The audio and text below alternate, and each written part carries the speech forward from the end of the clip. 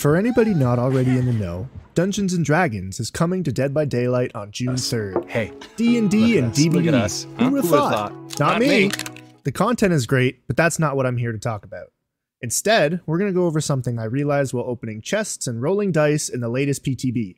How can you possibly introduce a dice roll mechanic and not have it be affected by luck? It's a missed opportunity, and it really only starts to make sense when you look further into it, so that's what we're going to do. Join me as we take a look into the luck mechanic to better understand it and why it's in the sad state that it currently is. There's a lot of things in this game that can be perceived as lucky or unlucky. I'm sure you can think of an example if you just play the game enough, but if you can't, don't worry about it. You can just copy mine. Just change them up a bit so Behaviour doesn't get suspicious. Have you ever spawned into a map and gotten spotted by the killer almost instantly? How about playing killer and having your hex break in 30 seconds? Or maybe you've spawned in as either side and seen a really close 3 gen and thought, that sucks. The list of scenarios truly does go on, as luck is all about perception. But what if it wasn't? What if instead of just feeling lucky or unlucky, there was something you could actually do to improve your luck going into and throughout every trial? To those of you that immediately went, there's literally luck offerings in the game, what are you talking about? I don't blame you for doing so. There's nothing in the actual game that says what the luck offerings really do. So unless you've gone to the wiki to find out, or heard your favorite content creators say it, you can't really be faulted for not knowing. Allow me to set the record straight. Currently, the luck mechanic only exists to increase the likelihood of a successful self unhook. Its entire existence in the game is only seen in a couple of places, those being the luck offerings and the four survivor perks that use it in their descriptions, two of which only show up because luck is in their names and not actually built into their perks at all. Comment down below if you can name all four. It's a shame this mechanic has existed in the background this entire time, especially when it could be really fun if fully fleshed out. It's gotten to the point where it's either going to be reworked or removed entirely, and I believe the latter would be a huge missed opportunity. How do you go about reworking luck without making it feel terrible, though? I'd given it a lot of thought and not come to anything conclusive. Until recently. Easily my favorite thing about the D&D DLC is the lute perk. More than the actual playing of said lute is the dice roll animation that plays when you activate it. First off, it just hits. I never thought rolling a dice in Dead by Daylight could be so fun. But more than that, it's made me realize the answer has been staring us in the face all along. Giving you visual feedback as to whether you're getting lucky or unlucky makes it feel really good, and that's the direction we need to take it.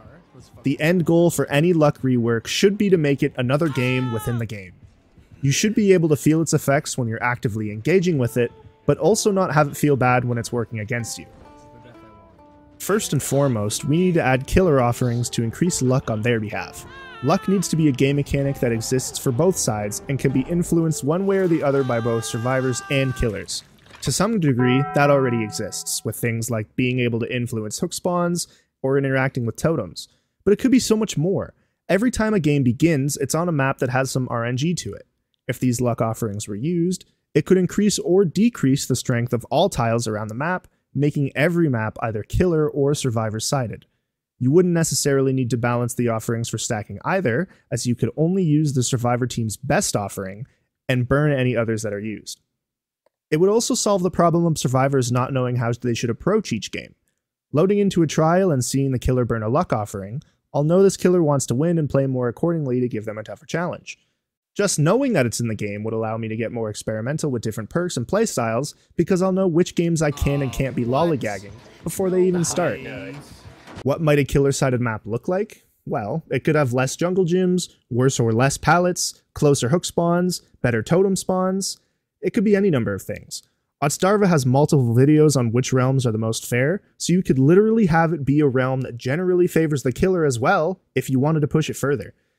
Never so strong that a 4K is guaranteed, but strong enough that it feels like if all goes according to plan, not everybody is going to be able to make it out. It's a fine line, which just means tweaking the numbers until it's in a good spot.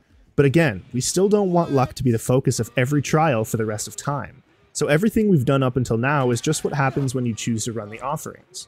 The actual difference between a map being heavily killer versus heavily survivor sided should not be that big. For killers, it's never going to be stronger than just bringing a map offering, and that's a good thing. But for survivors, being able to stack with other things is a concern. What's going to stop people from just stacking maps and luck offerings every game? The same thing that stops people now. That being you have to get them through the blood web, and you have no way of reliably getting them.